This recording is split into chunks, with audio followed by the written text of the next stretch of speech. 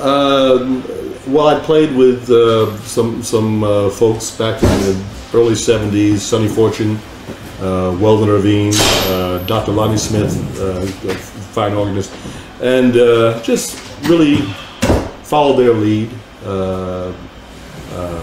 They, they were very very fine band leaders that were able to, you know, convey the message of what of what their music was about, and I was uh, I was just digging it really. Uh, so right place, right time again uh, to, to, to pick up what was going on. Weldon Irvine died, didn't he? He, he did. Yeah. He did rather tragically. Yeah, tragically. Yeah. Yeah. Uh, he had uh, he had quite a following over here, from what I understand. Yeah. Well, he helped um, Tribe Called Quest. Mm-hmm. Yeah. Very interesting guy. Yeah, yeah. Weldon was responsible for just about every young musician that came out of Jamaica, New York. Really? Uh, Donald Blackman, Bernard Wright, Del Blackman. yeah, Bernard, uh, Marcus Miller. All, we all came through Weldon. Really? Yeah. Cool. yeah. Well, he was kind of intellectual. I mean, he's an intellectual regarding music, wasn't he? In Mhm. some ways. He- Mhm. you know, the way he, uh, even the way he titled his albums and titled tracks, they seem to be quite Afrocentric. Mhm. I'd say. You worked with Lonnie Smith as well. How was it to work with Mr. Lonnie Smith? Uh, well, uh, Lonnie had, uh, I think he had a hit out called "Move Your Hands." Uh, no, Lon, Lon Smith, the the organist, Yeah. not not, Lonnie Smith. Mhm. Uh, it was great. It was great. Uh, uh, Lon, Lonnie actually was my first tie-in to the record deal that I had with GRP. Lonnie Smith and, and Earl Klugh. Lonnie was working at a club that I happened to frequent in New York uh, called Breeze and Lounge. And uh, my first manager ran the club and also was manager to Lonnie at the time. Right. And uh, so it was just a it was just a good connection. But he was he was great to work with. And GRP was part of Warner Brothers, wasn't it? Uh, GRP was part of Arista. They were actually Arista. actually uh, funded and distributed on Arista at the time. Right, right. And uh, how was it to make the first album? and How was it to work on that? Interesting. Uh, it, it, it, I can look back with you know fond thoughts on it. At the time that I signed with, with Dave Grusin and Larry Rosen on GRP, I didn't. I, I felt comfortable as a bebop trumpet player, but I didn't really have a direction in terms of you know pop fusion Yeah. jazz music. Uh, Dave Grusin is great to work with. Yeah. Uh, he's he's one of the producers like Quincy Jones or uh, Bob James, folks like that, that can hear an artist not necessarily try to change what they're doing, but find a way to shape them into a music that'll work, as opposed to a producer who just says, "No, I want you to abandon what you do and play this." Yeah. You know, so it, it's, it's very good to be with a person like that that uh, doesn't isn't out to necessarily change you and redefine you, but just to kind of gently guide you. Yeah. Uh, so- so- try so- and reshape you. Right. Yeah. Right. So, so Dave. Dave's a pleasure to work, and he's a fine. I mean, he's written so many movie scores, and right. Yeah. uh, he's done everything. He did Mountain Dance. Mountain Dance, tracks, and yeah. You know, when you got you had the success of um, Funkin' for Jamaica, how did that feel? Did you, did, you know, how did you feel about that? Nobody expected it. The label didn't expect it. Um, we we had the LP 95% done, and uh, Arista just mentioned eh, feels like it just needs one more track. Yeah. And uh, so I, I wrote, I remember writing the basic structure of the song in my attic, my parents' attic, um, and uh, got in the studio, showed Bernard the bass line, and he said, Oh, I dig it. And uh, we just built it up from there. And when we handed it in, the reaction that we got from Arista was like, oh, okay. You know, what- no, no one really thought much of it. GRP Right. just said, oh, okay, it's a, you know, we'll do it, it's cool. Yeah. It was like a throw together tune. Nobody was anticipating the reaction that it got. Um, I, I, I don't know if there was anything necessarily like that out there in the market at the time that just, that just had that you know spacious bass line and that kind of, so it was a blessing. And then we were talking about Chaka early. Yeah. Uh, Chaka at that particular point in time didn't have a record out. It was right in between her products Right. and Toni Smith, the vocalist on Jamaica Funk, uh, just happened to help me put this thing together, and it dropped at the right time, right place again. Um, and the rest was history. So people thought, in many cases, that was Chaka. Khan. Everybody thought that was Chaka Khan. myself. Yeah, yeah. Everyone thought it was Chaka. Yeah. Amazing. It's amazing. Uh, you still come to London a lot. You still Mhm. perform um, like in London with other musicians as well. So Mhm. you you quite got quite a big tie to the UK. You know, what are your thoughts about the UK scene as you come over here? Uh, the UK is, for me, uh, the mainstay of the jazz musicians of my era, Yeah. uh, our career. Uh, because we used to have a situation situation in the states, you know, 70s and 80s, where radio meant if it's a good song, we'll play it. Yeah, Okay, uh, and so you could hear the Commodores right behind the Beatles, yeah, right after Grover Washington, you know, and, and the music would, you know, right, and George Benson, and just track to track to track, and it would flow because as long as it made pop, funk, jazz, commercial sense, Yeah. they'd play it. Uh, and of course, you know how it is now. It's very pigeonholed and narrow, and uh, but Europe and specifically London has always been versatile that way. I mean, it's always been open to good, just good music. Yeah. And uh, and so you know, even with the kids, I noticed okay, there's new stuff out, but they're into retro. They're into this whole you know 70s and 80s sound. They like the sounds. They want to know. And so, you, really, you guys have kept the music alive. yeah. Uh, we appreciate it. Mm. And I'm sure you have a lot of young fans who come who are new to the music and they come to the music you know, Yeah. very often. So how did you both Yeah. come together to uh, to work to go on this tour? How did you join forces? Let's say. Uh, Joyce and I. Yeah. Uh, we played. Was it that bad? was my playing that bad? Gee, she's laughing at. Uh, Didn't say that. we played um, a festival in in uh, the Netherlands called the Delft Jazz Festival, which uh, a gentleman named George Unkehung, who's a producer over there, jazz uh, a festival producer, uh, put together.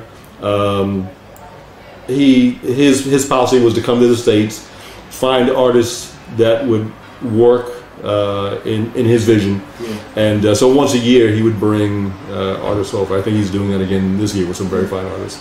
Uh, and uh, it just so happened that I had done a video for Holland uh, on the history of Jamaica funk because it's it's very it's still very popular over there. Yeah. And uh, once this film ran, uh, there was such feedback about it that he just saw the viability of uh, getting me involved in this, this festival as well. And uh, Joyce was one of the uh, vocalists that was uh, subsequently selected to be be a part of this whole thing, and it's worked out worked out well.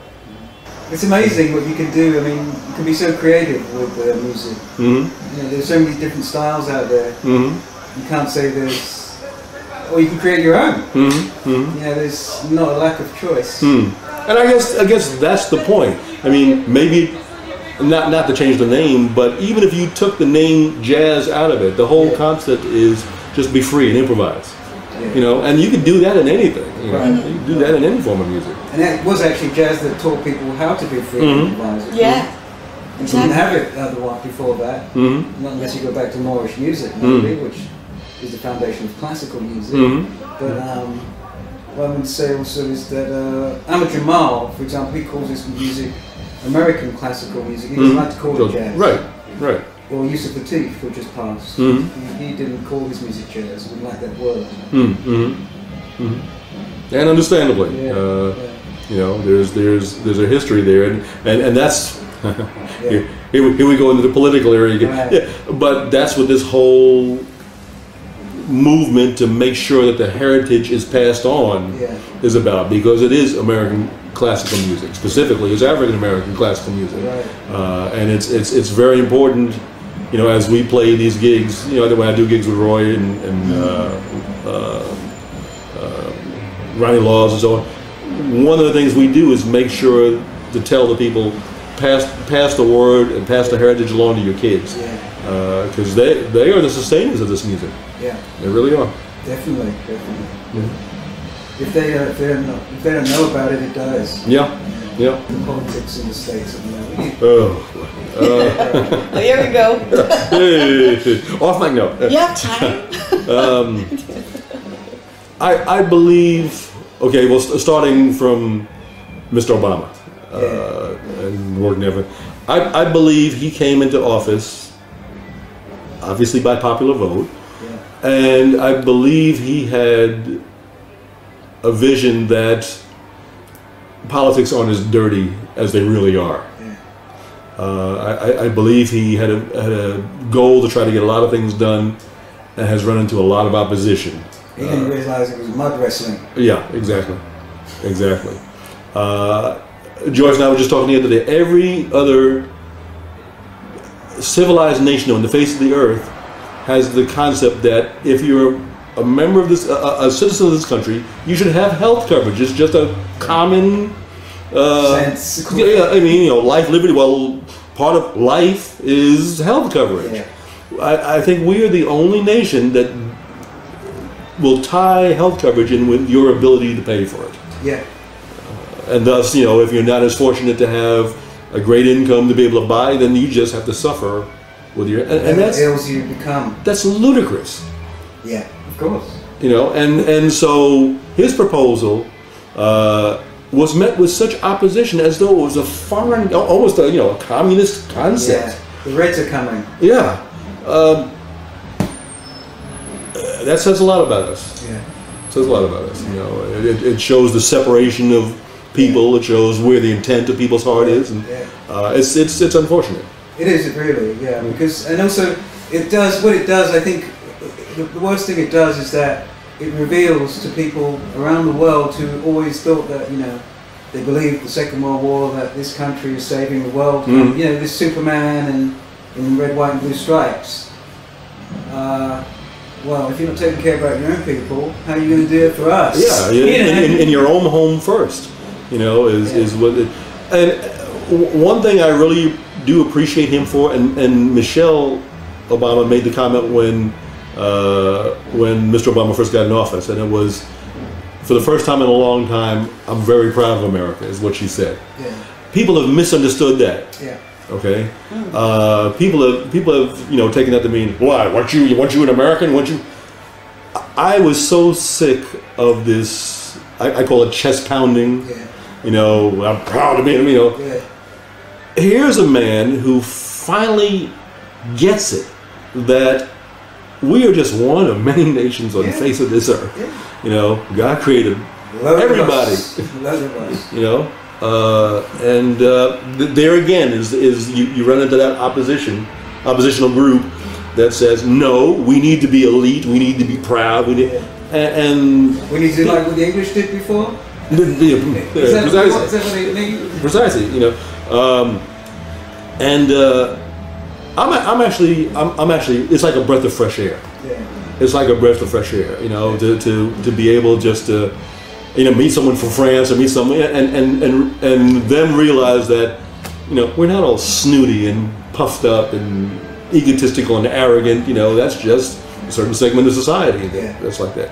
Think uh, back in the days when Miles Davis and all those other great musicians, I mean, musicians like you look barely fine today, Mm-hmm. went out to France and those places, and they were like, I get better treated over, over there. Exactly. So, you know, where did you know where did did things change in the attitude in people? Because that wasn't that long ago. Mhm. You know, Miles Davis getting bopped upside his head when he stepped outside the club. Yep. That's in New York. Yeah, yeah. Where did you know? Did we miss something? You know, what did we miss in this whole I, I, sixties, seventies, eighties? I, I, I think just you know New York has always been the melting pot, just like London is a melting pot, and I, I think you know there's, there's, there's been complaints about you know why, why why do we have so much immigration? Well, it's immigration that has changed the the heart and soul of the society. Yeah. You know, um, my, my wife is from Dominican Republic. Right. Okay, and as as uh, more and more Hispanic people, you know, came to New York, and now all the way, you know, the Carolinas, all the way down the coast, attitudes change because attitudes come with people, and, and and it's refreshing that there's a variety of attitudes now, and and I, and I think that's that was the key element over the years of, of just you know different people coming in, different people bringing their uh, their beliefs and their cultures, and, and, you know that's supposed to be what America is about. You know, uh, you know we have a we have a statue that France gave, France gave us out in the middle of the harbor that says, you know, send us your poor, your tired, and I have to ask myself quite often, well, who, who's that directed to? Yeah. You know, who's who's who are you saying send us to? Yeah. You know, because that's a message that's going out to the entire world. Okay, but sometimes it doesn't seem like that's what you know certain groups are trying to say. That's right. Um, That- That's a hint to many things because also they should have put something else. Make sure they're insured as well. yeah, yeah, yeah. Before they yeah. come over. yeah, yeah. And yeah, and so those are all topics that uh, people in the states don't necessarily even want to talk about. It just remains, you know, Tea Party-ish or underground. But aren't they going to have to? they're going to have to.